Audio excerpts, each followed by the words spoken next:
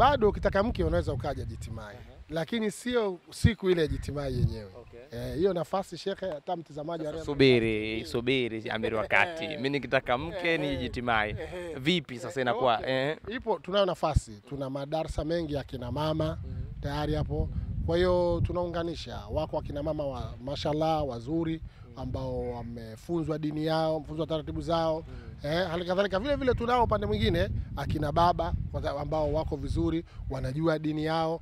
Kwa hiyo wewe utakapokuja hapa, na sio kuja kwenye ile siku ya jitimai yenyewe, uje hii- hata kipindi hichi okay. Eh, tumemaliza hapa Sheikh Ridhiwani akisema bwana Amiri wakati vipi? Eh, mi bwana labda nataka niongeze vitu, uh -huh. unajiamini hapo uh -huh. eh. Kama unajiamini hivyo basi nyuma ya kamera tutazungumza hilo. Inshallah tutazungumza, tutazungumza inshallah, nyuma ya kamera tutazungumza na Amiri wakati. Inshallah. Kwa hiyo ukija hivyo basi tutazungumza, watu wapo eh, watu wapo, watoto tunao. Kwa hiyo ukija Sheikh Ridhiwani, unajua mashallah, kwa Sheikh Ridhiwani huyu bwana tunaweza tukamuunganishia kitu hichi ikawa ah, Amiri wakati kapata mkwe Sheikh Ridhiwani mashallah, au Amir Idrisa kapata mkwe Sheikh Ridhiwani, hilo tunashukuru. Kwa hiyo watu waja wema bado tunawakaribisha shekhe katika utaratibu huo.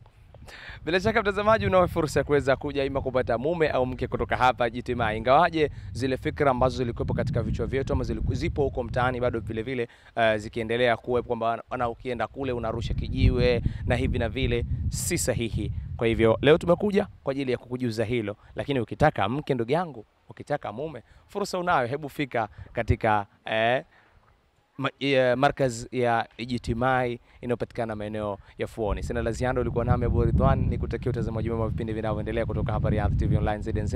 Usisahau kusubscribe na kubonyeza alama ya kengele iliyo mbele ya neno subscribe. Una nafasi ya kuniandikia katika comment section pia vile vile, yapi maoni yako, au kama wewe pia unataka basi, hebu tuandikie hapo katika comment section vile vile, tuone namna gani tunaweza kulifikisha hilo, kwani Allah subhanahu wa ta'ala amesema kwamba tusaidiane katika katika, katika wema na ucha Mungu, bila shaka tusaidiane katika uovu na mambo mengine. Kwa hiyo hili ni jambo la kheri, ndoa ni katika mambo ya kheri vile vile, tutasaidiana katika hilo insha Allah.